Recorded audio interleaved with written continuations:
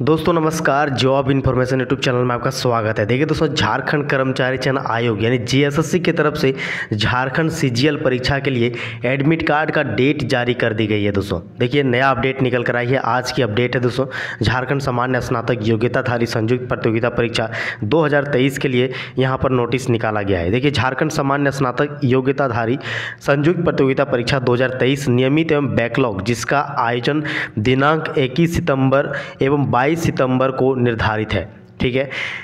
प्रवेश पत्र देखिए सत्रह सितंबर से जो है डाउनलोड किया जा सकता है। तो दोस्तों देखिए एग्ज़ाम आपका कंफर्म है, इक्कीस और बाईस सितंबर को होने वाली है, जो कि सत्रह सितंबर से आप एडमिट कार्ड को डाउनलोड कर सकते हैं।